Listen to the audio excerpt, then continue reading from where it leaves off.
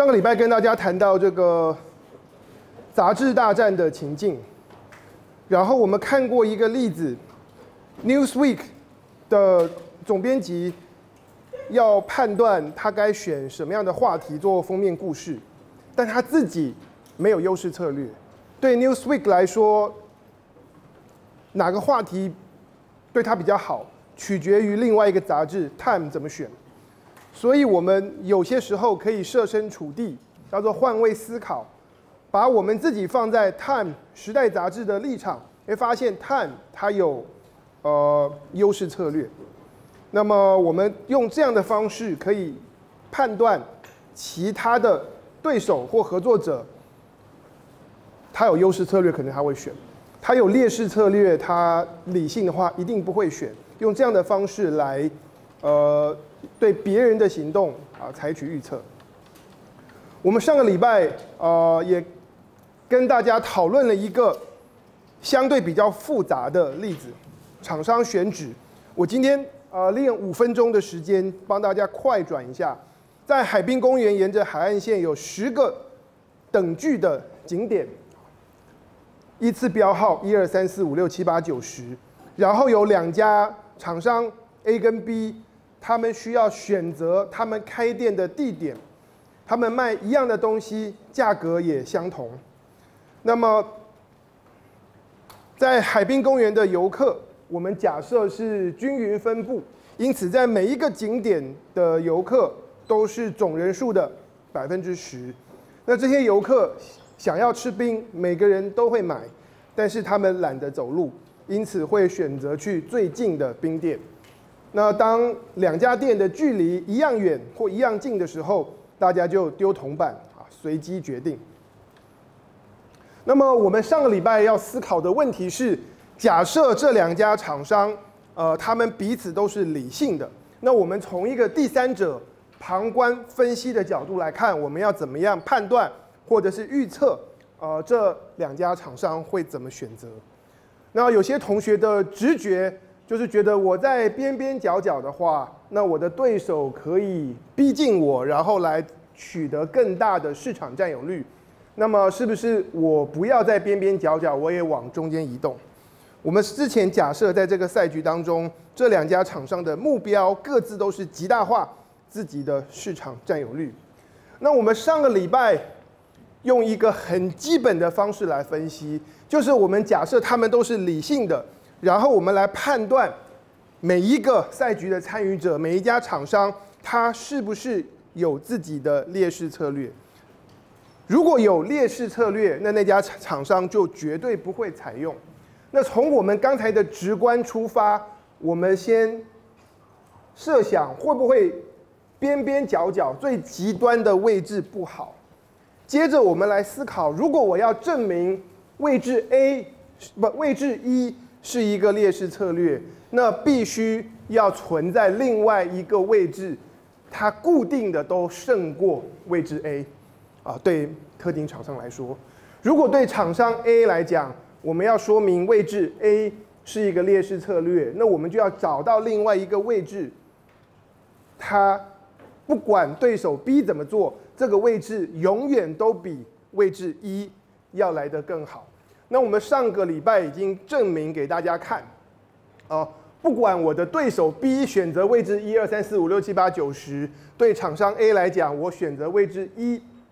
所得到的市占永远会绝对的小于啊位置二，因此我们得到最边边的位置是厂商 A 的劣势策略，因为这个空间这个地理位置是对称的。所以位置一是劣势策略，位置十也是位置劣势策略，因为 A 跟 B 他们所面对的赛局也是对称的，所以如果对厂商 A 来说，一跟十是劣势策略，对厂商 B 来说，呃，情况也相同。我们上个礼拜所做的进一步分析是这样子看：如果我是理性的，我不会选一跟十。如果我知道我的对手也是理性的，我就能够明白一跟十对我的对手来说也是劣势策略，他不会选。因此，只要我知道因此，只要我是理性的，而且我知道 knowledge of rationality，我知道对手也是理性的，那对我来说，我就明白，对我们两个人来讲，我们实际上所面对的赛局是一个这个框框里面比原本赛局更小一号的赛局。在原本的赛局里面，每一个厂商他有十个选择，一二三四五六七八九十。啊，可以挑选位置，但因为我是理性的，我也知道对手是理性的，所以我知道我们两个人实际上都只会在二三四五六七八九这八个选项当中做抉择。因此，我知道我们实际上面对的是一个小一号的赛局。如果对手也是理性的，他知道我是理性的，knowledge of rationality，对对手来说，他也明白我们两个人都在玩这个小一号的赛局。所以从这里出发，我们就晓得，当我们从两个厂商是理性的，增加一个假设到两个厂商知道彼此是理性的，那么我们就可以设想说，OK，这两家厂商他们都删掉了一跟十的两个选项，实际上他们只在玩中间这个小赛局。同样道理，当两家厂商是玩这个小一号的赛局，只从二三四五六七八九。当中来选择，我们可以重复先前的步骤，知道边边角角的位置，像位置二，对厂商 A 来说永远不如位置三，这个大家回去自己练习。因此，位置二跟位置九两边对称的，对这两个厂商来说都是他们的劣势策略，他们自己不会选。好，我们要如何往前推进呢？对我来说，我们在玩这个小一号的赛局，我不会选二跟九。如果我知道我的对手知道我是理性的，我就能够明白我的对手他也知道他在玩这个小一号的赛局，而在这个小一号的赛局当中，二跟九是我的对手的劣势策略，因此，呃，我的对手也不会选。所以，当我加了多一个假设，knowledge of knowledge of rationality，我知道对手知道我是理性的这样的情况之下，我就能够明白他跟我实际上都在玩一个再小一号的赛局，而当中只有三四五六七八啊这六个选项是我们实际上会考虑选择的。同理，当对手知道我知道他是理性的。对手也明白我不会选二跟九，剩下的部分我就快转了。那么在这个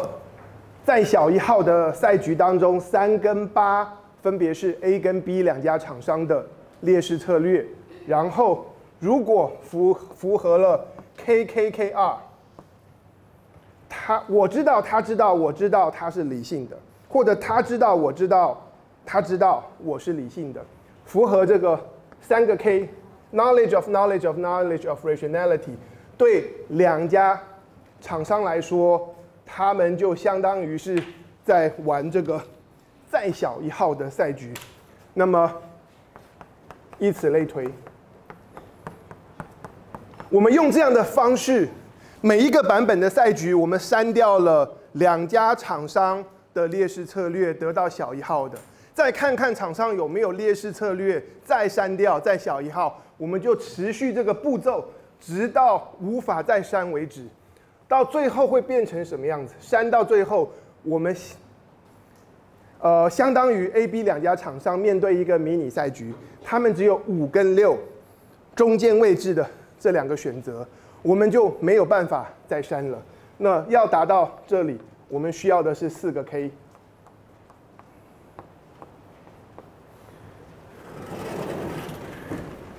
因此，上个礼拜我们用 S A 代表厂商 A 的策略选择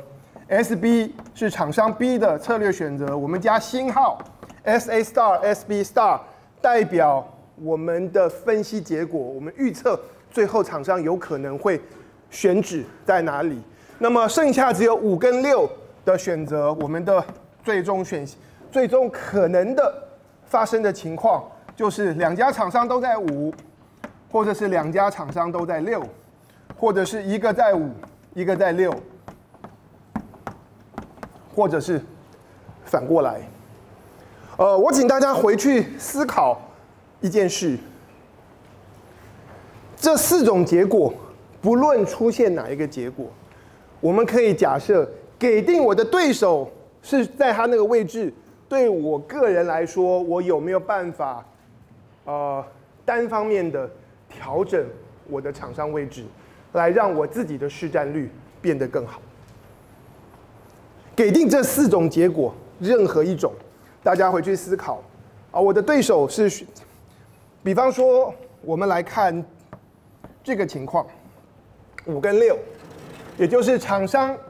A 在位置五，厂商 B 在 A 置位置六，在这样的情况发生的时候，假设我是厂商 A，给定了 B 在六号位置，我厂商 A，我们现在回到原始的赛局哦，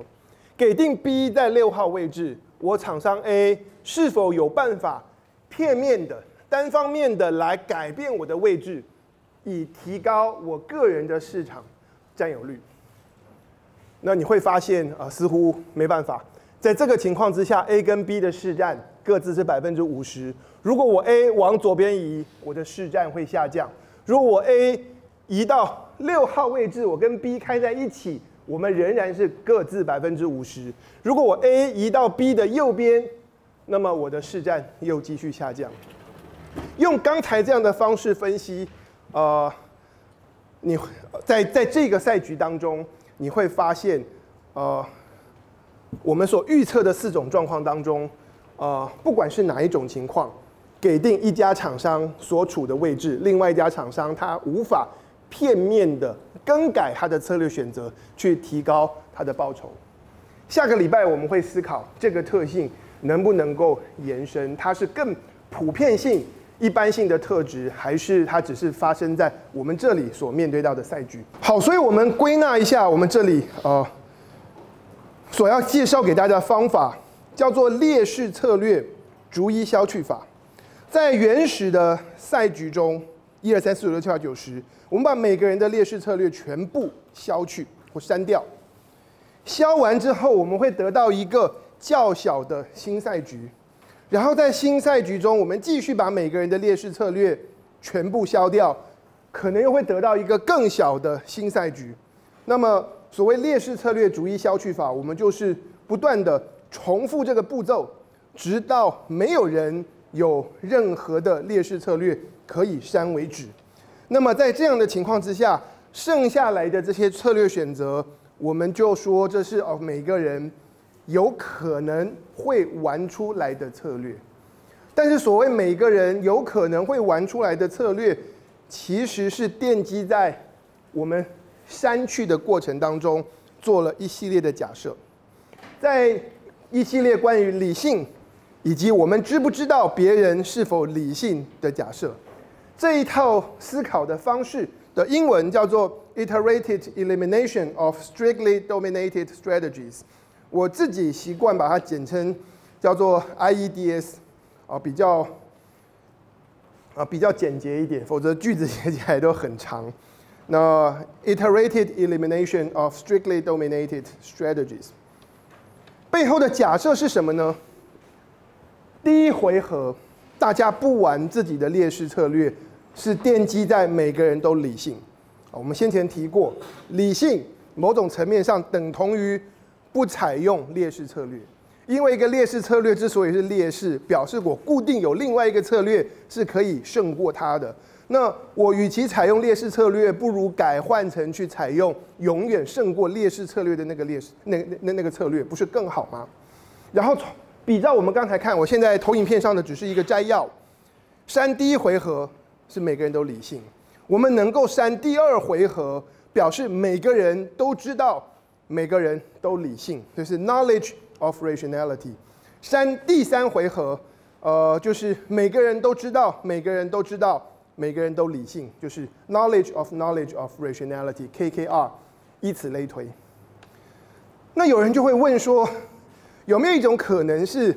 每个人都知道，每个人都知道，每个人都知道，每个人都知道？无限循环，每个人知道啊，无穷多次，每个人都理性。在这样的情况之下，呃，在赛局里面或在数学里面，我们称为理性啊，是每个人的共同知识，叫做 common knowledge。换句话说，前面有 k r k k r k k k k r，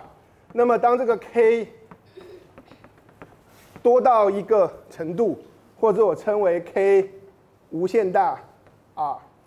这种状况啊，我们称之为 common knowledge。我们大家彼此知道的东西是我们的共同知识。这学期到后半的时候，我们会特别来思考一个资讯。它是公开的还是它是秘密的？在这个赛局分析上面啊，会有什么不同？或者是有一笔资讯你知道我知道，但是我们不知道彼此知道。而另外一种状况是，这个资讯就被人公布出来哦，贴在网络上。因此，不止你知道我知道，我们都还知道彼此知道的这件事情。那这两种知道的结构。会不会影响到我们在做赛局的策略分析的推演当中的一些计算？这是我们学期的后三分之一，会带大家做更深入的探讨。但是在这里，啊，我先简单介绍啊这些基本的观念跟名词。从这里我们也可以看到一件事情：回到厂商选址的课题，如果出于某种原因。你我都是理性的啊，我们是两家厂商，你是 A，我是 B，你我都是理性的，但是出于某种原因，我并不清楚你是不是理性的，那我们的分析会跟刚才一样吗？如果我并不清楚你是理性的，我就不知道说哦，你是不是也会采用这个劣势策略、消去法的方式来分析？我不知道你是不是会删掉对你来说是边边角角的位置。那因此，我对你的判断，以及我针对针对我对于你的判断所出来的回应，也有可能就因此不同。或者，我知道你是理性的，但是我在怀疑你不知道我是理性的。你可能觉得我很笨，或者你觉得我很疯，因此你不会用对我，因此我判断你不会用对付呃面对一个理性玩家的方式来选择策略，那你会用其他的思考。因此，在真实的世界当中，我们可有可能出于不清楚对对方是否理性、是否会计算等等，而让我们即便是理性的人所做出来的选择，会脱离呃我们赛局课程里面理性分析所得到的这些结论。我们很快的来看上个礼拜带大家玩的这个游戏啊，旅行者的两难。对你我，我们都是倒霉的旅客。然后我们的行李啊，各自原始价值都是呃一百元，但是在飞行途中啊都被压坏了。那我们要跟航空公司啊申请理赔，我们可以申报啊我们自己的行李啊各自值多少钱？那最低可以申报两美金啊，最高可以申报一百美金。那航空公司的。理赔方式很机车。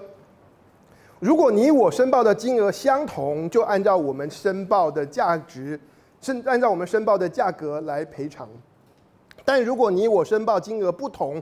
航空公司是会认定采用较小的申报金额来赔偿我们。不止如此，申报金额比较大的旅客会被额外扣两块钱啊，当做罚金。申报金额比较小的旅客会得到额外的两块钱啊，作为奖金。所以举例来说，如果 J 申报四十八元，K 申报一百元，那航空公司会赔偿两个人都是赔偿四十八元，但是会给 J 申报价值申报低的人额外的两块钱奖金，所以 J 会得到五十。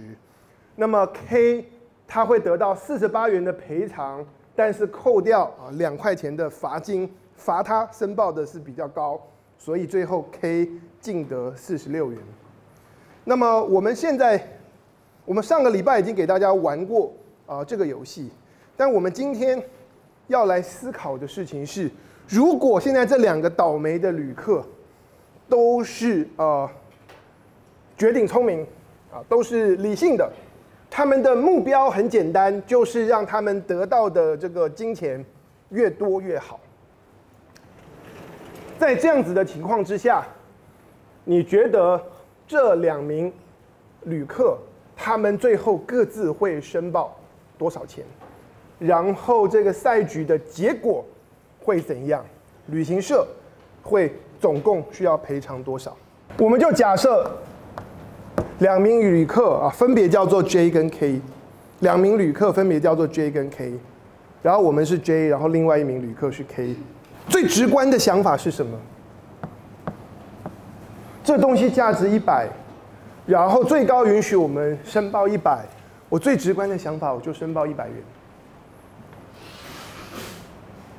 然后或者，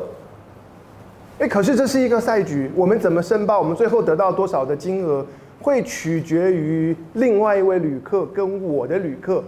申报的金额。我得到多少的赔偿？我得到多少钱？不只取决于我的申报金额，还取决于另外一位。所以我在想说，K 会申报多少呢？最直观的方式，OK，他也假设他是申报一百。这时候我身为 J，然后我又希望多得一点钱，我就开始思考：哎，我有没有办法？我们我我们我有没有办法这个？调整我的申报金额，让我实拿的金额可以更高，或者换另外方式想，我在想说，在这个赛局里面，我有没有优势策略，或有我有没有劣势策略？如果我有劣势策略的话，我不应该采用它。我突然发现一件事情：如果我不是申报一百，而是我申报九十九，而对手。他很诚实，他或他很天真的申报这个一百元的这个价值，九十九对上一百，按照航空公司的规则，我会得到多少？航空公司会认定啊赔偿我们九十九，然后因为我是申报金额低的，我额外再多拿两块钱，因此在这样的情况之下，当我申报。九十九的时候，我实拿是一百零一，高过这个，高过我的，高过我原本啊的这个诚实申报的这个金额一百元。我拿一百零一，然后我可以造成 K 申报一百的人他只拿九十八，所以对我来说，似乎九十九申报九十九比申报一百要来得好。但是我们的分析还没有完，对手他到底会怎么想？K 他会申报一百吗？理论上，我们是不是能够计算一下，当 K 申报不同金额的时候，它可以是申报一百、九九、九八、九七、九六，一直到五四三二。我们能不能思考一下，当 K 申报不同金额的时候，对我来说，一百会不会永远比九十九差？我能不能够系统性的来比较申报一百元跟申报九十九元，对我自己个人的利弊得失，然后假设我的对手有可能采取啊不同的申报策略，因此我们现在要做的事情就是，我要这两个金额一百跟九十九，我要来比一比，但是我有可能对应到。我的对手 K 是采用不同的申报策略。这时候我发现什么？当对手 K 会申报一百元的时候，我们刚刚已经算过了，我申报九十九，我拿一百零一元；我申报一百，我只能够拿一百元。所以对我来说。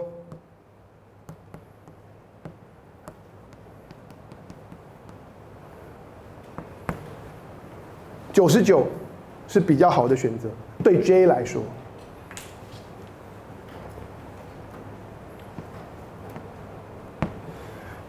如果我的对手 K 他是申报九十九元呢？如果我的对手 K 申报九十九元，当我申报一百的时候，我是那个报价高的人，最后航空公司是赔偿我低的报价九十九，然后再给我扣一个两块钱罚金。所以我实拿是九十七。那我申报九十九，就跟 K 一样，得到航空公司九十九元的赔偿。所以，当我的对手 K 申报九十九元的时候，对我来说，我申报九十九会好过啊一百。所发现，ninety nine is better。那么我们继续分析下去。如果我的对手 K 申报九十八元呢？如果对手 K 申报九十八元，不管我申报一百还是九十九，我都是报价高的那个旅客。所以航空公司最后只赔偿低的那个报价，航空公司只赔偿九十八元，但因为我是报价高的旅客，所以我还要被额外多扣两块钱。我实拿是九十八减二等于九十六。所以，当 K 申报的价格是九十八元的时候，不管我选，不管我是报一百还是九十九，我实拿的金额都是九十六元。那这时候是不是表示一百跟九十九相比是一样好？在一样好的情况之下，那我可以写这个 indifferent，一百跟九十九啊，怎么报对我来讲是没差。给定 K 是报九十八，或者是我可以换另外一种写法，报九十九并没有比申报一百要更糟，所以 ninety nine is not worse。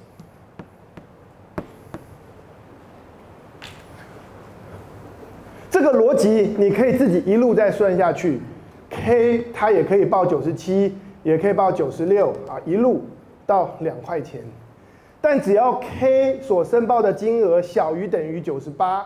不管我报一百还是我报九十九，最后得到的金额都是 K 所申报的金额减两块钱。这两个选项对我来讲是一样好或一样糟，所以是 indifferent。或换句话说，ninety nine is not worse than a hundred。用这样的方式，我们把 K 所可能。做的选择都列出来了，在不同的情况之下，我们发现选九十九永远不会比选一百更差，但是有些情况选九十九绝对会比选一百更好。在这样子的呃符合这两个条件的状况之下，九十九永远不会比一百更差。但九十九有时候，而且我们知道是哪些时候会比选一百更好。在这样的情况之下，我们就说这个这个这样的条件听起来是不是有一点劣势策略的感觉？可是我们之前讲劣势策略的时候，A 跟 B 永 B 永远比 A 差，A 永远比 B 好。我们现在两个选择，有些时候他们平手，有些时候是九十九比一百好。所以呃。因此，我们这时候说一百，啊，我申报一百元，在这里来说的话，我称之为 is weakly dominated by ninety nine。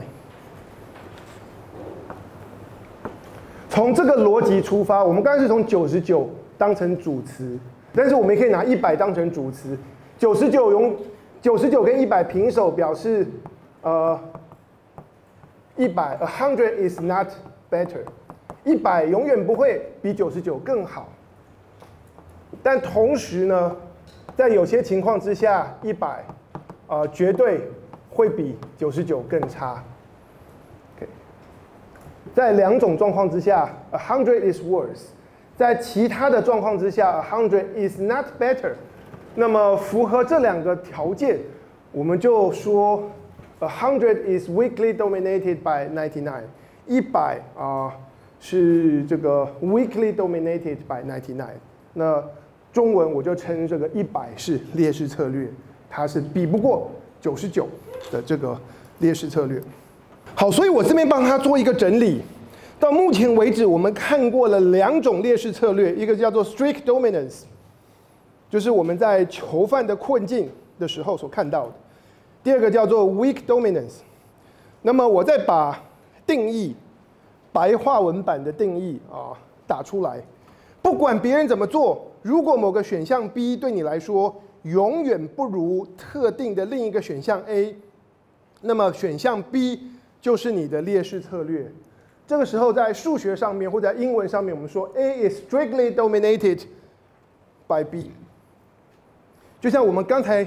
厂商选址，我们说 location one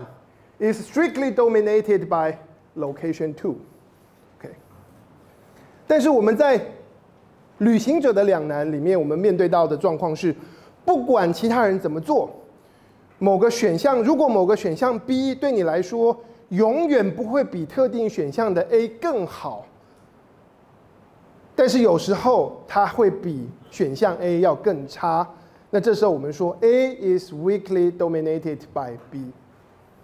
在旅行者的两难当中，不管另外一位旅客 J 他申报多少金额，我申报一百元，对我来说永远不会比申报九十元更九十九元更好。很多情况之下会平手，但不会比它更好。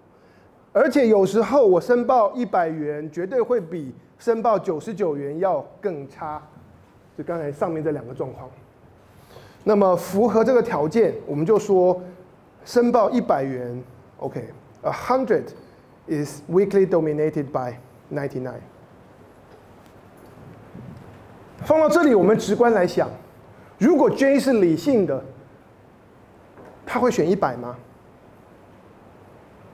应该不会，因为选九十九不会比一百差，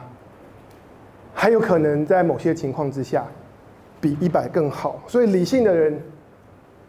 我们判断他会选九十九，啊，不会选一百。那么我们现在来看。这个，我们这里的论证是不是可以继续延伸推演下去？我是 J，我本来想要诚实出一百，这也是我能申报的最高金额。但是我发现一百是一个弱劣势策略，它永远不如九十九。那么，所以推演到这边，我应该要选九十九。那么我的对手呢？我的对手 K，他也如果也经历了同样的思考，那么 K 可能也不会选一百，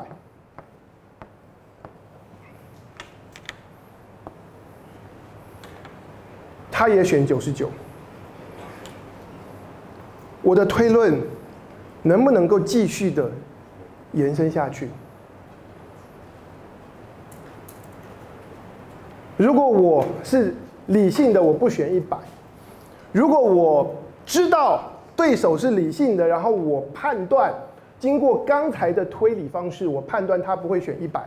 那对我来说，J 跟 K 我们两个人都处在一个赛局，相当于是我们只能够申报最低两块钱，最高我们实际上的选择是九十九，而不是一百。那在这样子的情况之下，我要接下来推理了。在这个小一号的赛局里面，在这个你我都绝对不会选一百，一百 is not feasible，一百相当于是不存在的一个选项的赛局里面，我该选九十九吗？还是我会发现说，在这个小一号的赛局当中，九十九是否有可能没有九十八好？这个给大家回去。自己练习，你可能会发现，当对手选九十九或九十八的时候，我选九十八，绝对会比选九十九最后得到更高的金额。但是，然后，然后同时，当我的对手选到九十七以下的时候，我选九十八跟我选九十九没差啦，都一样好。换句话说，选九十九。对我来说，永远不会比选九十八更好，但是有时候九十九会比九十八要来的更差。那么经过这样子的推理，我该继续选九十九吗？还是我需要降级到九十八？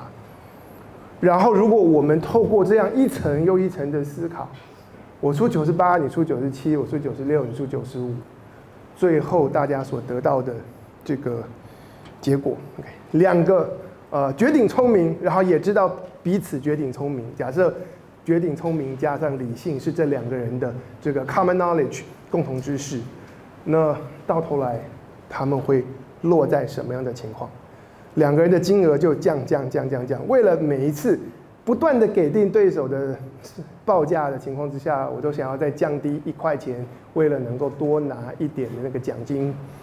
那么我们彼此降降降降到最后，你我 J 跟 K 都只申报两块钱，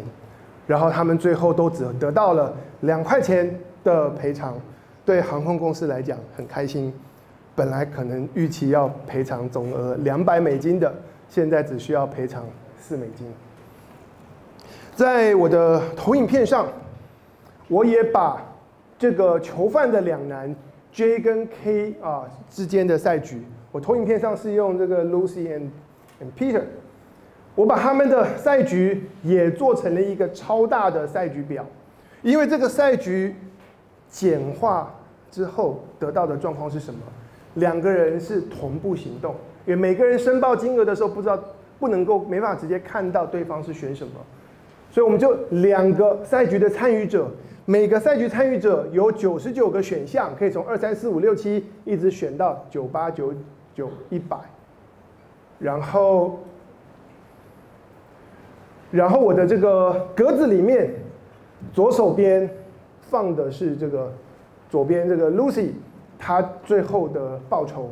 然后格子里面右边蓝色的数字放的是这个 Column Player 啊 Peter 他所得到的报酬。如果我们从这个赛局表来看啊，他回去可以自己仔细的检视这个表。最后，你也会发现，啊，我们可以得到两个人，Lucy and Peter，他们最后是选各自都是申报两块钱，而且更重要的一点，这是我们下礼拜会讲到的观念。更重要一点，只有当两个人都选择两块钱的时候，面对这个结局跟面对对手的选择，每个人才会发现，我没有办法单方面片面的更改我的申报金额，以来提高我个人。最后实拿的报酬，只有在两个人他们都各自申报两块钱的时候，才出现一个状况，给定对方的选择。我事后会发现，说我没办法片面的改变我的选择来提高我个人的报酬。呃，下个礼拜我们会谈到，当一个状况、一个状态符合这个条件的时候，我们就称它为纳许均衡 （Nash equilibrium）。在其他的任何的情况，比方说两个人都选一百的时候，它不是纳许均衡，它不是一个状态，是给定你的选择，我无法片面调整我的报价来提高我的报酬，因为给定你选一百，我就发现，呃，给定这个 Peter 啊选一百，那么我 Lucy 会发现我可以从申报一百。降低变成申报九十九，反而提升了我实得的报酬到一百零一。好，这个是旅行者的两难，理性分析最后所得到的结果。那我们上个礼拜大家的游戏，我们最后出现的状况是什么呢？是呃上个礼拜我已经公布在脸书了。那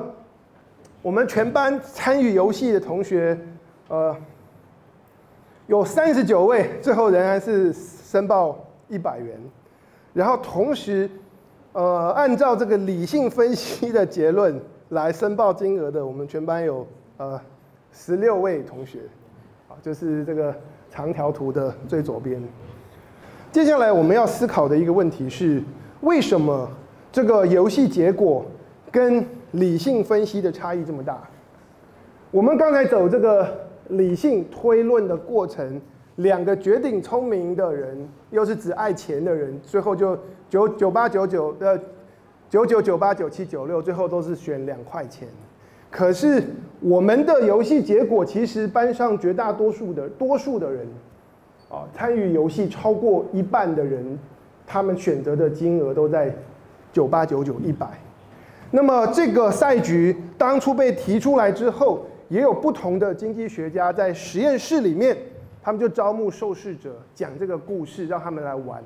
哦，然后每个人玩的结果呢，就根根据他们玩的结果会发一些现金作为这个啊诱因。那不同的这些相关的实验得到的最后的结果都很像，都是有足够多的一群人，大家的这个申报价格都在九八九九一百，而不是那个理性的选择两块钱。所以这里我们就要思考，为什么游戏结果跟理性分析的差异这么大？可能有几个方，可能有几个原因。第一个，有些人就没有多想，最高能够出一百，或者真实价值是一百，我就报一百，就是人生何必这么辛苦，没有多想，或者是呃，有些人他有多想，可是他的计算就只停在两步三步。我算到了，我从一百降到九十九，有可能让我多拿，然后我就停在这里，我觉得 that's enough，我没有再去算说，哎，别人可能跟我一样聪明，跟我一样心机，他也选九十九，那我再降到九十八，我再降到九十七会更好。就是我会想，可是我就止步在几个回合的计算就停了，这是第二种状况。第三种状况是什么呢？第三种状况是我看到了，就像刚才第一位同学的分享，我看到了，如果我申报的价格，我就让它停在一个高档，那么有机会，对方跟我，我们都是拿到一个比较高的金额。如果我的金额就略比，呃，我拿到，我们可以有机会因此拿到比较高的金额，反而我一开始透过这些计算，我报了一个低价，我就注定。对方跟我能够得到的赔偿金都被限制在一个低水位了，所以我可能是出于这样子的动机，或者是我出于利他啊，我如果我如果报价比较高，然后我因此被多罚两块钱就算了，但是我透过我出高价，我可以让对方跟我们有机会啊，最后得到的这个赔偿金额是落在高点。不管从这三个哪一个方向出发，这个。都表示什么？表示我们真实世界里面的这个赛局玩家，他有可能是不理性，或者是他有可能是带着他是理性，而是但是是理性却带着一个利他的精神。所以，所以理性的带利他精神，就是我本来就只就在乎别人跟我大家共同的报酬，而不是我只想着自己。但是我们先把利他这个扣掉，有些人会选择一百九九。反映出来的是他们不够理性，他们没有多想，或他们的计算没有太多步。好，这是第一个原因。不理性的。接下来我们思考，理性的赛局参与者有没有可能在这个赛局当中，最后也选择申报高价？如果我是一个理性的参与者。我刚才黑板上的这些计算，大家要去想它的背后有没有奠基在一些额外的假设上面。我刚才这些计算背后假设的 J 跟 K 是理性的，而且他们知道彼此是理性的，而且他们知道彼此知道彼此是理性的。我们刚才的计算差不多假设了理性是这两个人的共同知识，就是大家都知道我们彼此都很聪明，我们彼此都很会算。可是真实世界，我在玩的时候，就算是我是理性的，我可能会去判断，OK，我班上同学可能有一些人是很天真的，或有些人他就是乱玩，或者他就是轻松玩，是这样。因此我就要去想，当我不知道会跟我班上的哪一个同学配对在一起玩的时候，我就想，我们全班同学里面有多少比例的人是那个不理性的，有多少比例的人是会是一路计算，然后最后会选一个两块钱、三块钱的。我会需要去形成对我所面对到的潜在的这些对手的理性状态，我需要去去估计、去猜测，形成我的一个预期。那我们可以这样子想：如果我就知道我们我所面对的人每一个人都是非常会算，每一个人他都预期他们会选两块钱，我最后会选多少？我最后应该要申报两块钱。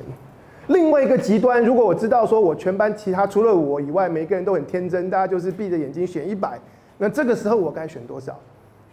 我该选九十九，或者是我带着回馈的心，我也选选一百，不要不要让害人家少拿两块。所以你发现我所预期我的对手是理性或者是不理性的几率大小，会影响到我的选择，会影响到我自己身为一个理性玩家的选择，应该要选贴近一百还是两块钱？这有一个新的元素加进来了。那么我们可以说，大家回去可以用自己的方式去走这个思路。可以说，如果我期待我们班上的同学有足够多的比例的人，他是走那种不理性的策略，会选九八九九一百的，那么对我来说，即便我是理性，我也即便我知道理性的分析会得到两块钱，我也不会选两块。我也会选一个偏高、贴近九七、九八、九九的这个价格。大家先听好我的推论哦。我的推论是，当我们预期我们所面对的对手有足够一个趴数的人，会做不理性的选择，申报高价。那么，即便我是理性的人，因此我也有可能。理性的选择，出于自利的选择，我申报高价。所以在我们的分析里面，现在不理性的人会选高价，理性的人也有可能选高价。所以会选高价的人，不只是那些不理性的，会选高价的人会多过，会高价会出现的几率会高过不理性的人的占比。然后，当我们期待理性的跟一些不理性的人都会选择高价的时候，那么我们所面对到我们我所预期对方会申报高价的几率又再度提高，又在强化了我更愿意去申报高价的一个动机，然后这个动机不断的加强。那么有一派的这个理论上的诠释，就是在我们一个群体里面，只需要有一部分的人是不理性的存在。这些人就会影响到理性的人所做的选择，让大家，让多数人，可能让超过一半的人，在这个求旅行者的两难的赛局当中的表现啊，都是在这个高价。在我刚才的推论里面，他需要有一小群的人不理性，他会无条件的选择九九九九一百作为一个推论的起点跟种子，然后。引引导跟引诱更多的这些理性的人，他们愿意有些时候出高价，会是这样。那你可以去思想思考另外一个极端，就是你跟我我们来对玩，然后现在我们都已经充分了解这个赛局的运作的机制，然后我们也都会算。那么在这样的情况之下，你我我们会选择九九一百，还是我们会选择更低的金额？如果你跟我，我们都知道，我们都充分了解这个赛局跟它的运作机制，我们也都是理性的，然后我们的目标就是，呃，从这个游戏当中多多赚几块钱回家。那在这样的状况，理性对上理性，而且这是我们的共同知识，我们彼此知道这件事情，那么我们的推论会让我们的出价变低。没有，你出九八跟出一百。状况一样不一样，会取决于你判断我会选多少。就是如果我们两个人的状态就是属于这样子的思考，这当中需要有一些利他的想法，就是啊，我宁可在最坏的情况之下，我就牺牲被扣个两块钱，但是我就出高价，确保我们彼此有一个机会，最后都能够得到够高的补偿。这个是一个利他的思考，或者是有的是天真的思考，就是我没有多想。我就我就我就出一个出一个高价就是了，那何必算那么多？然后到时候算一算，最后大家还拿更差。所以就是他需要有一些脱离了完全是只从自利出发，而且是我能够多赚一块，我就要努力赚到那一块的思考，需要有一些脱离这个想法，才会得到我们呃这样子的结果。但是当我预期我的同学里面有一群人会有这样的想法，就会引导更多是完全自立，我多一块钱我都要赚的这些人，也会在也会在这个引导之下，出于自立，我也愿意把我的申报价格提高，是是会得到这样子的这个结果。那这个旅行者的两难，最早之前。是一个经济学家，叫做巴蜀。他在九零年代初期，他编的这个故事，然后做了这个分析，然后在巴蜀之后，有很多的经济学家开始把这个游戏带到实验室。巴蜀当初提到的时候，他是丢了一个很哲学性的问题，就是是否在有些情境或在旅行者的两难当中，刻意表现的不理性。大家刻意表现的不理性，反而可以让我们彼此的报酬都比较好。那么，报酬本来就是我们要追求的，所以刻意表现的不理性，能不能算是一种理性？当我们都理性、斤斤计较，而且很会算的时候，在旅行者的两难，大家都得两块钱。那如果我刻意的做出不理性的选择，有可能让我们最后十拿，你跟我的十拿都在九十五以上。或许这个刻意表现的不理性，作为一种理性，是有一点贴近你刚才心里面在想的事情。那这个东西是赛局的学者，大家觉得想了脑筋会打结，觉得很很很吊诡的一件事情。那我鼓励大家回去思考一下，呃，这个背后的赛局的运作机制，以及这个问题背后所呈现的哲学。好，所以我们等一下要进行的这个商战游戏是国有地拍卖，然后我们要进行的是第二款规则，就是同步呃加价式拍卖。我想确定是不是大家都已经在家里已经看过这详细的规则？那如果都看过的话，我直接说明一下啊，我们这个游戏等一下的进行方式。我们等一下会是两组两组同学。对玩，所以我们全班是四十组，那两组两组凑在一起，所以我们最后会有二十个市场，每一个市场两组对在一起就是独立的，OK，跟其他的组别跟其他的市场是没有关系。那么在每一个市场里面就只有两组，那么要拍卖的土地就是有 A 跟 B 两块地。那么对每一组的同学来说，你们这两块地对你们各自的价值，可以总结成三个数字。第一个是 VA，如果我只有土地 A，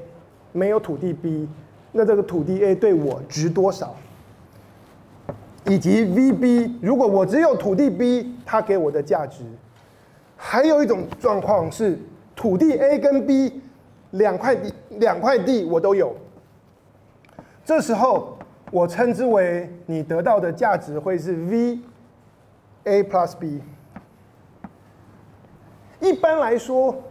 我有两样东西给我的价值，应该就是这两样东西各自的价值的总和，V A 加上 V B。但是在我们这个特殊的情况，你可以想到说，OK，一个企业。它有两块土地相连在一起，可以让它整合做一个更大面积的开发。A 跟 B 两块土地加在一起，可以发挥重效，造成两块土地加在一起的总价值会大过两块土地各自价值的相加，所以会有一个 S。所以在我们的故事里面，V A 加 B 会大于或大于等于 V A 加上。VB，所以等一下在游戏的时候，呃，每一组同学助教都会发给你属于你这一组的机密资讯。这个资讯是只有你自己组员能知道，你不能够亮牌，不能够秀给啊其他组的同学看。你的机密资讯会包括了在每一场拍卖的游戏当中，你对 A 的估值 VA，对 B 的估值 VB。以及你 A 加 B 都得到的时候的估值 V A 加 B。我们等一下这个游戏拍卖两组凑在一起玩，呃，会让大每你们两组凑在一起必须要至少玩两场，就是拍卖一次，然后再再得到新的一组估值，然后再再玩一次，就大家要像下棋一样，就是玩至少两场。但是我们会提供每一组。三场拍卖会的估值，所以如果时间够，一个小时时间够，你们可以玩到三场；时间不够，你们至少要玩两场，并且把你们的游戏记录交上来。对，你需要交上玩完两场，交上两场的记录，才算有完成 OK 这个课堂活动这个游戏。好，到这边为止。那我们这个拍卖的过程怎么进行呢？等一下大家会拿到一个表单，然后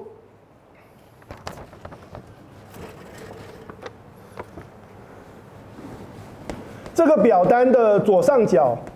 会标注说这是你们玩的第几场游戏，Game One 或 Game Two 或 Game Three。然后这个表单上面会假设其中一组叫做 Team One，另外一组叫做 Team Two。那大家需要填写在你们的游戏当中哪一组。Team Team 是扮演 Team One 的角色，组名是什么？Team Two 组名是什么？比方说一个叫做啊天大，一个叫做地大。然后下面我们会提供这个拍卖的游戏记录表。呃，我们这个拍卖的规则是同步加价式拍卖，所以这个拍卖。在结束前可以进行多个回合，一二三四五六七八。我们的表单上面最多可以让大家玩到二十，就是不停的轮流、不停的加价，然后最多可以加到二十回合。如果不够的话，表单的背面还可以继续用。那么我们表单上面会是这样子的结构：土地 A 跟土地 B，然后。土地 A 下面我会列一个 Team One 的出价跟 Team Two 的出价，土地 B 我也有 Team One 跟 Team Two 的出价，然后底下就是一个回合一个回合的表单，让大家去填写各自的出价是多少。那我现在跟大家模拟一下，假设我们就是天大跟地大这两组哦来进行拍卖，在每一个回合当中，两组同学都需要同步的决定你的出价策略，你各自在 A 跟 B 的两笔土地要出多少价格，你的私密资讯是 VA、VB、VA 加 B 三个数字。可是实际上，因为只有两笔土地要拍卖，所以在每一个要拍卖的土地的这个拍卖会场上，你都需要思考你要出多少价格。那在同一个回合里面，两组是同时要决定，所以我们等一下游戏实际上进行的状况是，两组同学就可以各自讨论，不是互相讨论，每一个组只能跟你自己组员讨论。讨论完决定好你们的出价之后，你需要先找。自己的白纸，在白纸上面写下 Round One。假设我是 Team Team One 天大 Round One，那么我对土地 A 我要出价多少？我对土地 B 我要出价多少？我们各自写好，先不翻开。然后另外一组同学地大，他们也讨论，然后写好。然后我们两组来确认，你写好了，我写好了，我们一起翻开。翻开，我们就会看到我们同步所做的选择。我们同步对土地 A 跟土地 B，我们各自出价是多少，然后我们抄到这张呃游戏记录表上。举例来说，哦，Team One 天大，我一开始决定我土地 A 出价五元，土地 B 出价五元，那我就是写五跟五。然后假设我 Team Two 地大。一开始地大，我的想法就是，我想观望看看，我不要先急着喊价，所以我第一回合我都 pass。所以大家可以，大家玩的时候是可以选择 pass。pass 就是说我在这个土地上面我不出价，不出价的时候你就是写 P A S S，表示你是不出价。所以假设第一回合 Team One 在 A 跟 B 都是出五元。Team Two 在 A 跟 B 都是 pass，我们就这样记录。记录完以后就进入到第二回合。我们游戏的规则是什么呢？对于每一块土地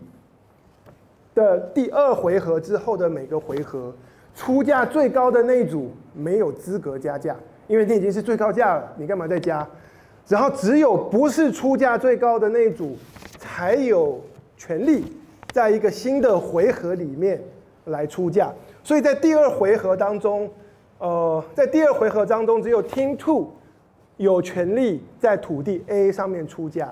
也只有 Team Two 有权利在土地 B 上面出价。然后 Team Two 他们组员就要讨论，讨论完以后，先在自己的白纸上面写下来他新一回合的出价策略，然后写完以后做好决定，翻开来 OK 给另外一组看，大家可以看到你的结果。如果 Team Two 继续两块土地都 pass，那我们就成绩就会出现某一个回合没有一组更新它的价格，那么这个拍卖就此结束。那 A 跟 B 都是给啊 Team One。那我现在举的例子呢，在 Team Two 当中，假设 Team Two 绝对决定在土地 B 出价十元，啊，必须要盖过 Team One 原本的价格。而且我们说加价的金额必须要大于等于五元。然后听假设听 two 在土地 A，他决定他继续 pass，那我们的记录方式就会是这样。同时，因为这个，等下补充一下。同时，因为这个听 one，它原本是它原本在第一回合就是出价最高的，所以它第二回合它是没有资格继续加价、继续喊价的。所以我们就，所以我们就打个叉。那我们实际上进行的方式呢，可能就是第一回合结束之后，我们就立刻看到 Team One 在土地 A 跟 B 都没有资格喊价就打叉，那只有有空白的组，呃，才能够有权利在新的回合里面决定出价。假如是这样，那我们就进入到第三回合。进入到第三回合的时候，土地 A 的最高价是谁？是 Team One，所以 Team One 没资格喊。土地 B 的最高价是谁？是 Team Two 的十块钱。所以进入第三回合的时候，我们先在这个 Team Two 土地 B 这边先打个叉。土地 Team Two 在土地 B 没有资格喊。所以在第三回合，Team One 只能够在土地 B 上面加价，或者是 pass。Team Two 只能够在土地 A 上面加价或 pass。然后两组同学就各自讨论。各自讨论，在自己的白纸上面先写下来。Round three，第三回合。那么我对 A 跟 B，在我有权利出价的领域里面，我的出价是多少？然后大家出完了以后，互相翻开。那么我现在假设，Team One 的出价是土地 B，他出十五元。然后 Team Two 在土地 A，假设他继续 pass。然后我们就。因为第三回合有人针对了某一块地加价，所以我们这个拍卖就继续进行，两笔土地的拍卖都继续进行。只要土地 B 还有人在继续加价，土地 A 虽然已经 pass 了两个回合，但是我们的这个这种拍卖规则的这种拍卖方式的规则，就是只要有其中一块地的拍卖还没结束，所有土地的拍卖都继续的延续下去，所以 A 也是可以继续。继续到第四回合，我们来看土地 A Team One 是最高价，没有权利出价；土地 B 现在 Team One 是最高价，他没有权利出价。所以第三回合只有 Team Two 有权利在 A 跟 B 两者上面出价。那这组同学呢就讨论，然后写下来，翻开。最后假设 Team Two 在土地 A 出价十元，在土地 B，呃，他决定 pass。这是第四回合。第四回合，土地 B 但都没有人更新价格，但是土地 A 的出价又继续延续，所以这个拍卖 A 跟 B 两个两块地的这个拍卖都继续延续。我们到第五回合，第五回合这时候土地 A 的最高价是 Team Two，它不能出价；土地 B 的最高价是 Team One，它不能出价。那么，所以。Team One 可以决定在土地 A 要不要继续出价，Team Two 可以决定在土地 B 要不要继续出价。那假设两组都决定 pass，那么到此为止，只要我们出现某一个回合有权利出价的人全部都 pass，没有任何的土地得到加价，那么我们这个拍卖就结束，在这里就结束。结束之后，我们就要来看这一场拍卖最后的结果是什么呢？土地 A 的最高价是 Team Two，他出十元，所以是 Team Two 得到土地 A。土地 B 的最高价是十五，是 Team One，Team One 得到土地 B，然后这样就得到了我们这一这一场啊拍卖游戏的这个结果。公平就是我们的规则对双方来说是公平的，但是。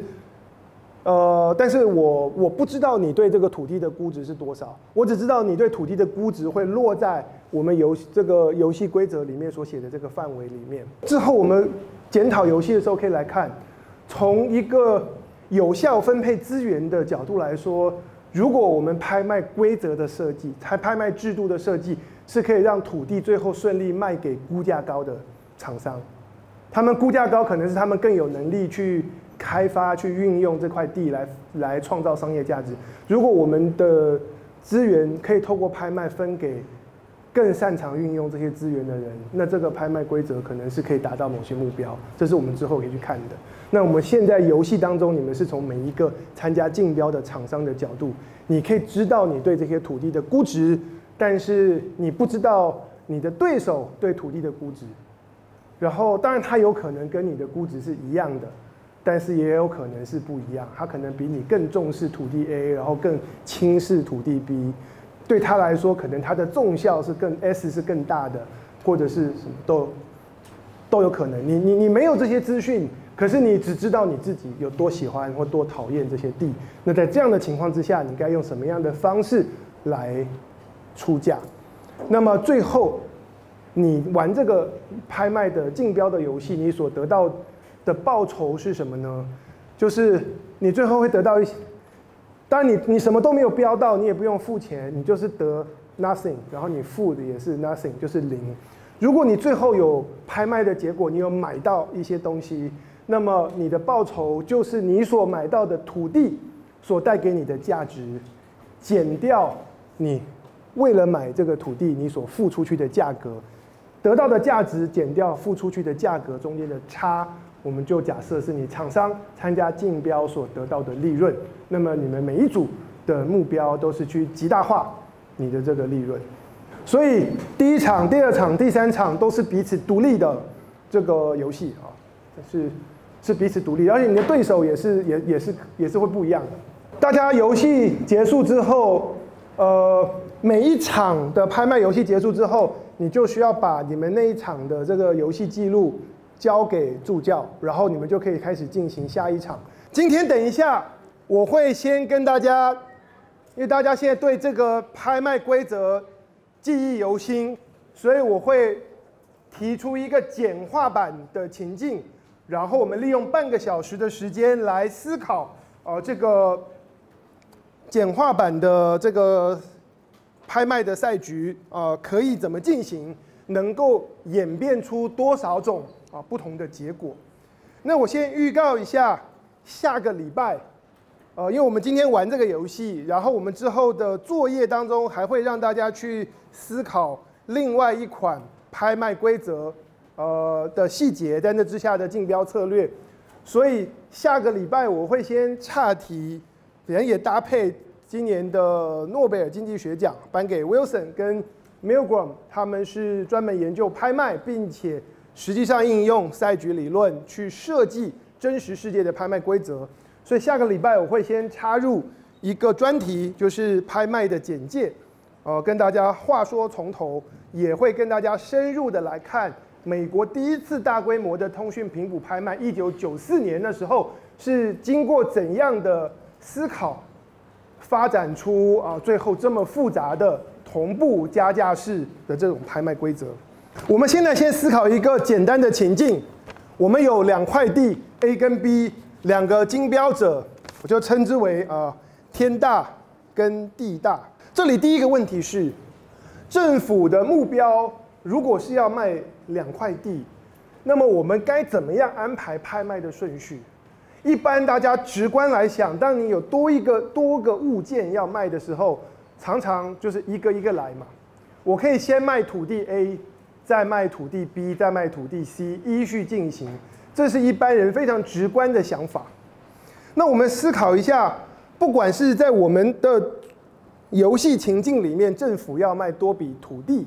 或者是回到美国政府，它有不同的城市的通讯频谱要卖，然后电信商来竞标。如果这些不同的这些标的，纽约的频谱、L A 的频谱、波士顿的频谱，或者我们的土地 A、土地 B，是采用依序进行一个一个拍卖，卖完了土地 A，再卖土地 B，再卖土地 C，这样子有可能衍生出什么样的问题？为什么我们会一开始要来思考一个这么复杂的拍卖规则，是同步进行多个市场同步进行，而不是一个一个来？要回答这个问题，你可以先想，不管政府要卖的是这个频道、频道或者是频谱，还是土地，这是公家资源。公家资源如果要拿来出售给民间的企业，你觉得从国家的角度来看，我们应该设定怎样的拍卖目标？这个目标需要是怎么样让政府赚最多的钱，或者是我们的目标是设法？把每一个资源，不管是平谷还是土地，能够透过拍卖来分配，让这个估价最高、最擅长使用这个、能把这个资源开发成商业价值的厂商来得标。该怎么设定拍卖的目标，会是一开始政府所面临的问题。现在我们假设我们拍卖的目标是要有效率的分配资源，谁擅长？开发运用这块土地，我们就希望这块土地最后能够通过拍卖分配给谁？如果我们是带着这个目标，希望所有的地是卖给愿付价格最高、估价最高的厂商，那这时候如果我们安排土地 A、B、C、D 依序拍卖，有可能发生什么样的问题呢？比方说，假设你是其中一个参与竞标的厂商，出于呃，你自己的优势以及土地的特性，假设对你来说，先不要管黑板上这个数字，这是等一下才会用到，现在先不管。假设对你来说，土地 B 能够带给你的价值是大过土地 A，然后土地 B 能够带给你的价值，呃，也大过土地 B 能够带给其他的厂商的价值。假设我们面对到的状况是这样，然后你来参加竞标，政府决定先卖 A，再卖 B，然后按照字母顺序进行。这时候对你来说，土地 A 先卖，但是你对土地 A 的这个估值不高，那你会希望积极的参与土地 A 的这场拍卖，还是说土地 A 你就放掉？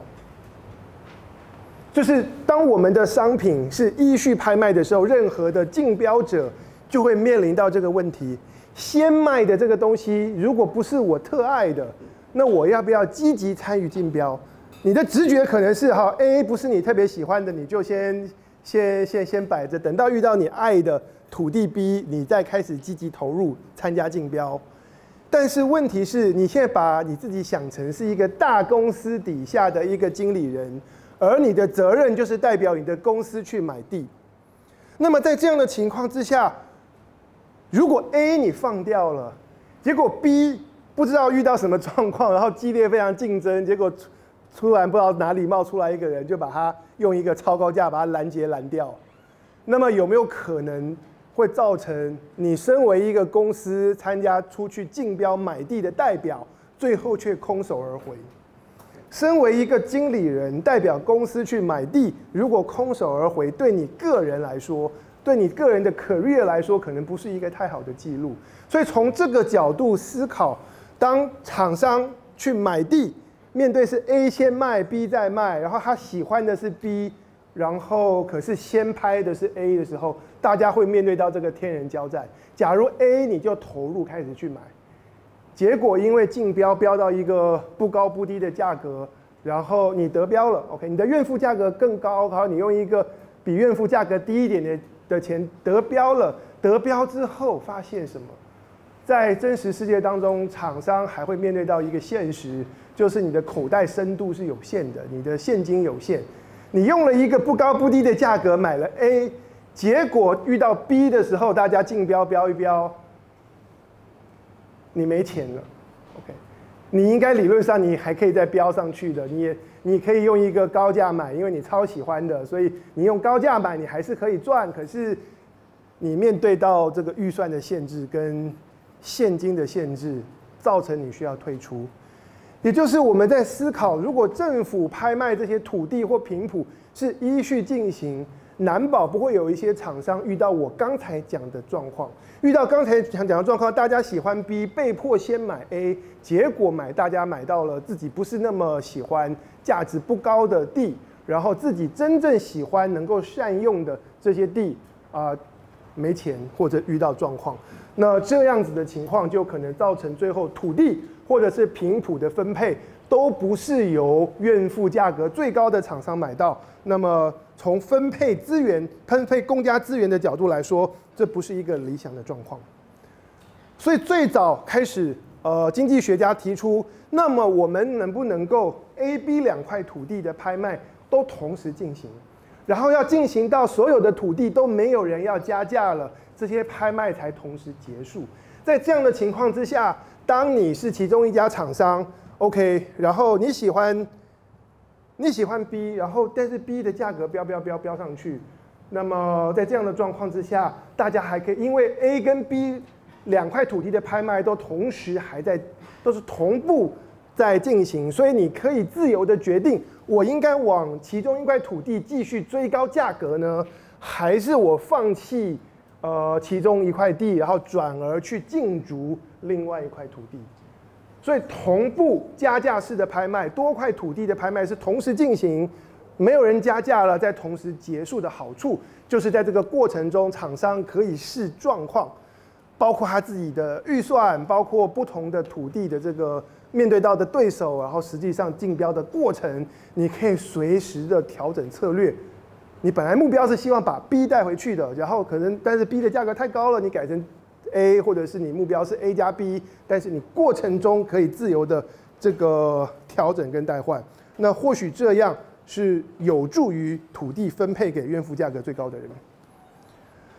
详细呃设计拍卖的一些考量，我们下个礼拜会细讲。那我这里呢给大家一个很简单数值的例子。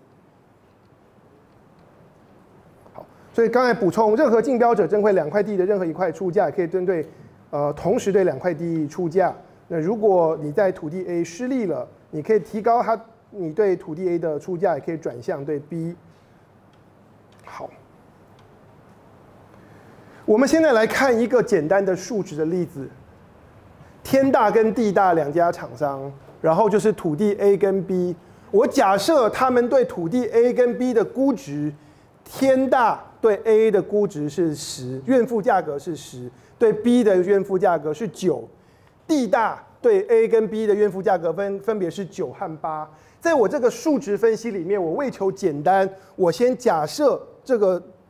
纵效 synergy 是零，也就是两块土地都标到的价值就是两块土地个别价值的总和。你们今天实际玩的，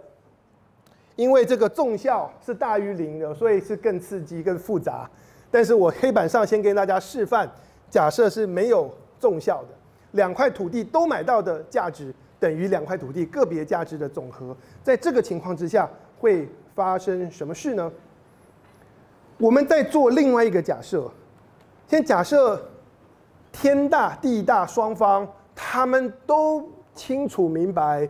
两边对土地 A 跟 B 的估值，大家的怨妇价格这些都是公开的资讯啊，都是。Common knowledge，这一点在你们的游戏中，在现实世界中不成立。可是我们先假设啊，这些资讯都是公开透明的。即便在这样的情况之下，我们来做一下沙盘推演，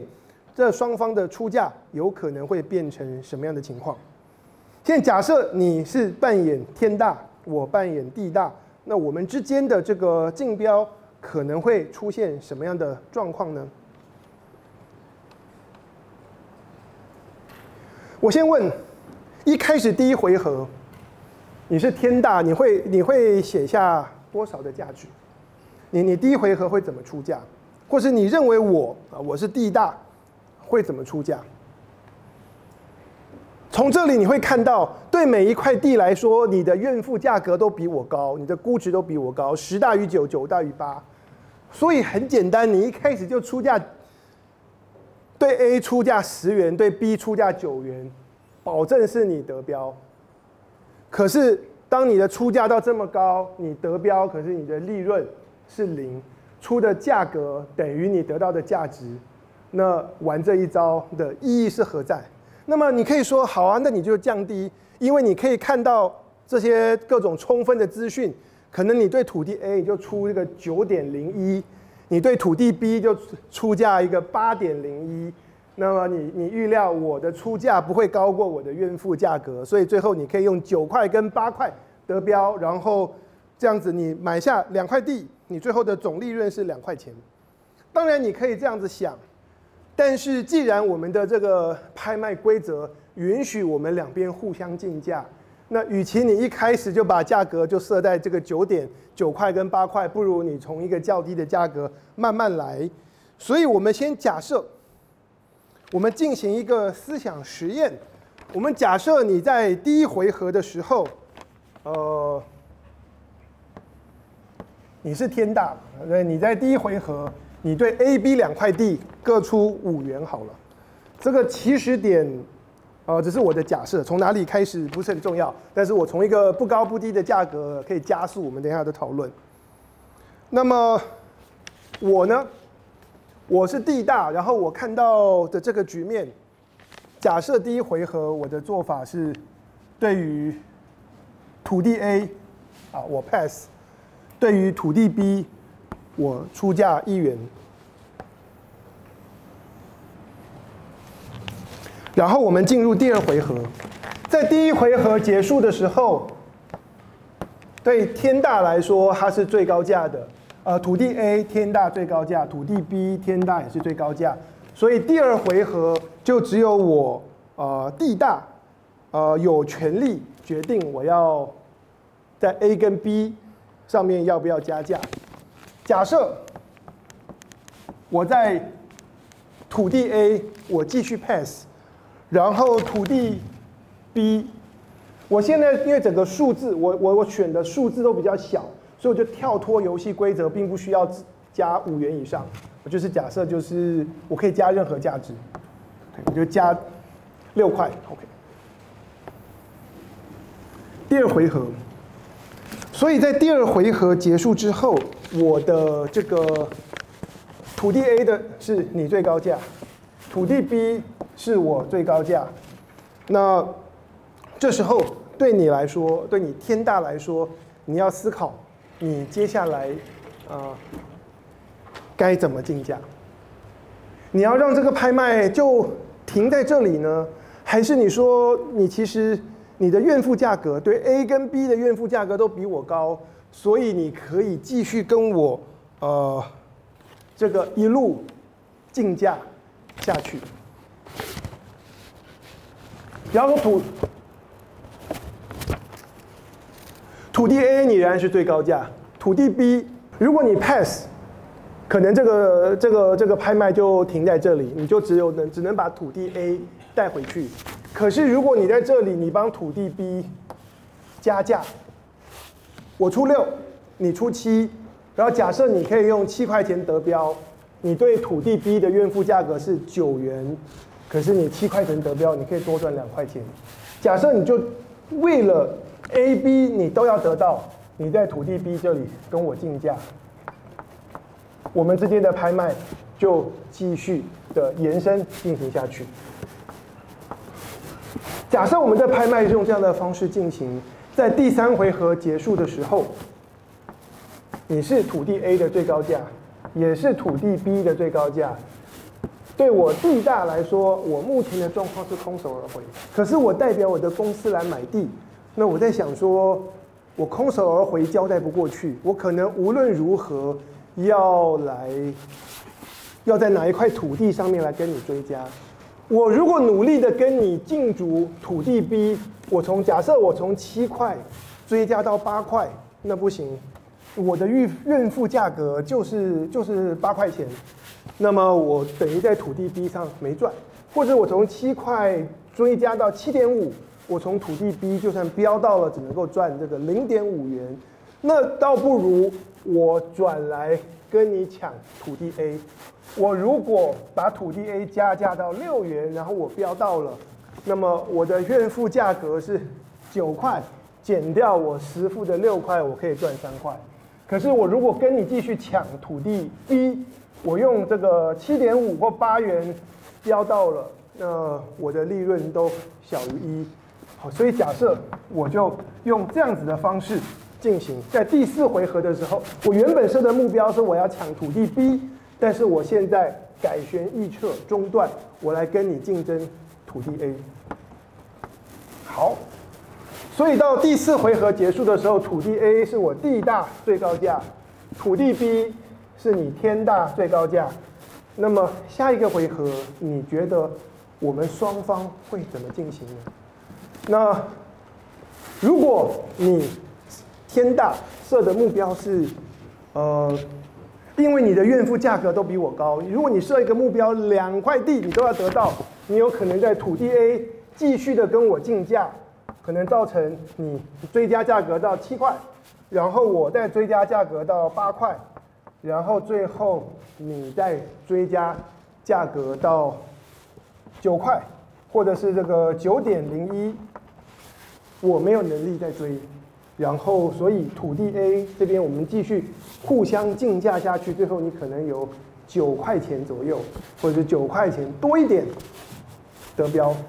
这是下面的回合。然后在土地呃 B 这里呢，对我来讲我也不愿意空手而回，所以最后最后关头我可能加价，OK 七点五，然后我从七块。从你的七块我加价到七点五，然后你再跟我竞价，最后可能到一个呃多少呢？好，八点零一啊之类的价格。在我们的怨妇价格是公开透明的情况之下，你的怨妇价格每一块土地怨妇价格都比我高。如果我带的目标是我必须要抱一块地回去，而你带的目标是觉得。因为你的怨妇价格比较高，你希望把地都买下来，最后我们的竞价就有可能造成把土地的价格都不断的推升、推升、推升，竞价的结果会是怎样呢？两块地都是你得到，而你得标的价格可能都在我的怨妇价格前后。那么从你的角度出发，你天大得到了多少的利润呢？OK，？拍啊，代表利润。那么你在土地 A 给你的价值是十，你付的价格是九块多。土地 B 你的怨付价格是九，你付的价格是八块多一点。最后你的利润是两块钱。我这里秀给大家看的是在资讯公开透明，而你又有怨付价格的优势的状况之下，如果我们一路竞价。第一种路径是我们双方把价格抬高、抬高、抬高，最后都是你怨妇价格高的人得标，但是然后带着这个两块钱的利润似乎不错，地也有了，利润也有了，但是我们重新检视一下当初你我的这个一路的这个竞标的过程，我们可以思考，在这个过程当中。如果我们可以重新来过，有没有哪一个阶段你可以开始，呃，考虑变换一下你的竞标策略，让你带来一些不同的结果？照我们刚才的竞标逻辑，最后两块地都是你天大得标，利润是比是大概是两块钱左右。有没有方式可以更好？怎么样叫更好？我我觉得一个合理的目标，第一个是利润能不能更高，然后身为我们为公司买地的这个经理人来讲，我第一个我不能空手而回了，我要带一些地回去，然后第二个能为公司创造高一点的利润。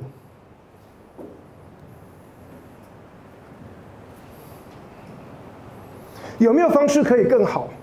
让我们呃这个让时光倒流，然后我们先回到第二回合。假设第一回合你还是各出五块钱，然后一开始我设的目标我是地大设的目标是想要抢土地 B，我出了一元，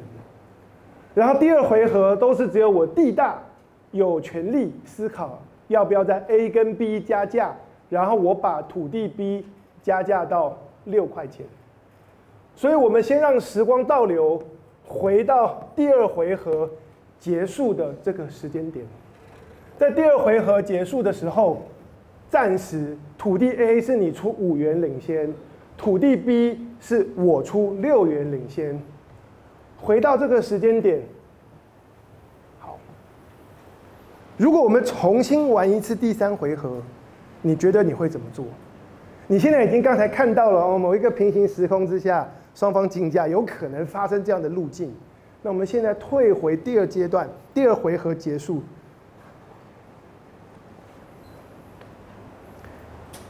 继续努力跟我竞价，然后跟我抢土地 B 吗？还是回到第二回合结束，在第三回合的时候，你是土地 A，你不能做什么，因为你是最高价。但土地 B，你可以决定你要不要继续追高跟我拼。那么你面另外一个可以面对的选择是什么？第二回合结束，第进入第三回合的时候，你就 pass，土地 B 你就不要标了，然后让我得标，这样子你只得一块地 A，然后你把土地 B 用六块钱让给我，如果。重来一次，在第三回合的时候，你就放弃跟我竞争土地 B，这时候会发生什么事情？这时候你的利润拍会是多少？我这个拍加一个 Prime，是说我们这个竞标的赛局重来一次，然后第三回合你就放弃把土地 B 让给我，在这样的情况之下，你天大的利润会是什么呢？你可以得到土地 A，它带给你十块钱的价值，而且因为你提早让这个竞标结束，所以在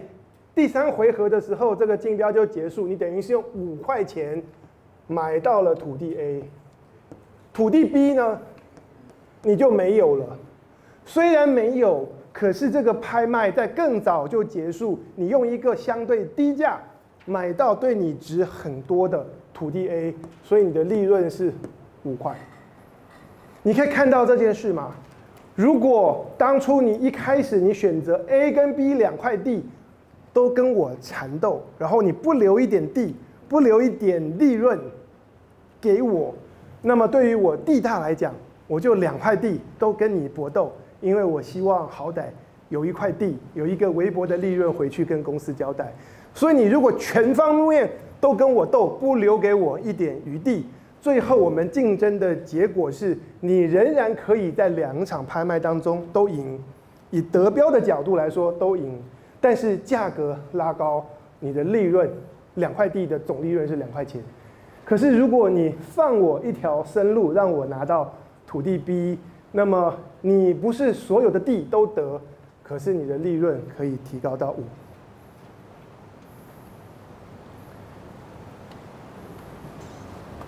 这是这是一个思考。当然，你可以想象，在这个思在这个过程中，天大跟地大，他们名义上互相是竞争者，他们来竞逐这两块地的所有权，谁可以得到？可是，在竞争之外，他们似乎又有一些合作的空间。这个竞争如果是互相就是竞争到底，得标的人利润还是很微薄。可是这个竞争，如果是我留一点给你，然后你也适可而止，那么让这场拍卖提前在一个阶段结束，那彼此都带了一点东西，彼此的利润都提高。我现在讲的是这个竞争跟合作的哲学。我们下礼拜会讲现实生活中的拍卖，基本上从拍卖者或政府的角度，我们不太希望厂商是可以用这样的方式形成默契，或者是围标，然后就是大家用低价就把这些公家资产就就瓜分完毕。可是我们现在比较从竞争跟合作之间的关系跟这个哲学来看的话，从个别厂商的角度，我可以跟对手争到这个片甲不留，但是我们互留余地的情况之下，可以利润可以增加。好，我们现在这个思想实验已经走过一次，然后我又让大家重新从回到第二回合再玩第二次。现在我们再玩，我们现在我们现在再重玩一次，然后我们是从第一回合就开始，整个重新来过。我们现在让时光倒流，让时光倒流到第一回合开始之前，谁都还没有出价，你也没有出价，我也没有出价，然后我们要思考，在第一回合的时候。如果我们再玩一次，在第一回合，你会怎么做？那这边我自有自己我的这个笔记的纸，我在上面我先写下，我们再玩一次的时候，我对土地 A 跟土地 B 啊各自要出的价格。现在我想问你，因为我已经写在我的纸上，我也不能改。我现在我在问你，如果我们再玩一次的话，你身为天大。在第一回合，你的出价策略会是什么？各五块吗？各三块？各一块？还是还是怎么样？你会发现公开透明的资讯，然后我们这个思想实验，我们模拟大家会玩出来的结果，沙盘推演。你会发现，我每推多推演一次，我好像对这个赛局了解多一点，然后再重来，我可能会用不同的方式做。再多推演一次，我有更多的心得。那么我们现在要推演第三次的第一回合，你觉得你会怎么出价？两个都一块？对，一个一块。OK，好，都是都是你的话，你会出这个？我就用红笔呃代表最新的一个回合。你天大，你是 A 出一块，B 你是 pass 是吗？好。然后我这里我写的是土地 A 我 pass，土地 B 我出一块。那我再问你，我们第一回合结束了，进到第二回合的时候，土地 A 你是最高价，土地 B 我是最高价。第二回合你会在土地 B 追加价格吗？不会。第二回合你 pass。我也 pass，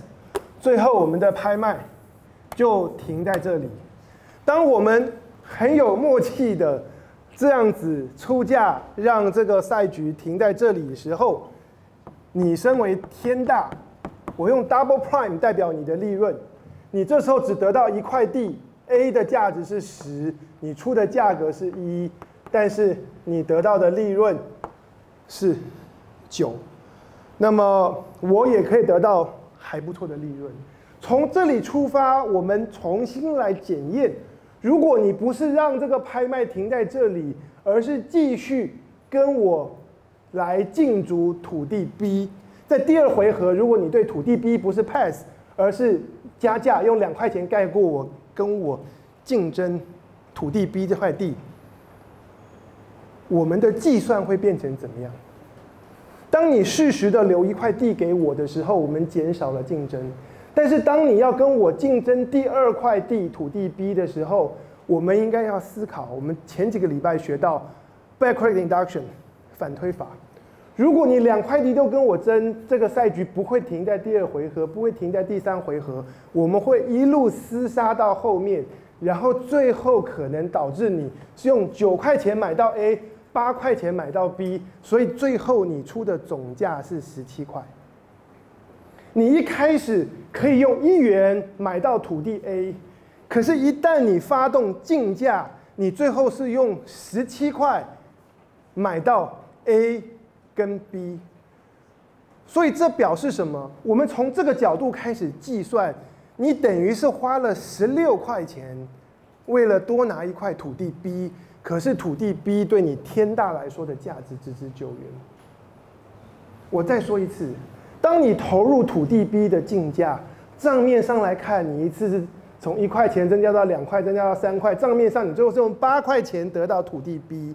问题是，我们如果用反推法来比较，一开始你有机会用一元买到 A，但最后竞价让你用十七元买到 A 加 B，那那这相当于是竞价导致于你用十七减一等于十六块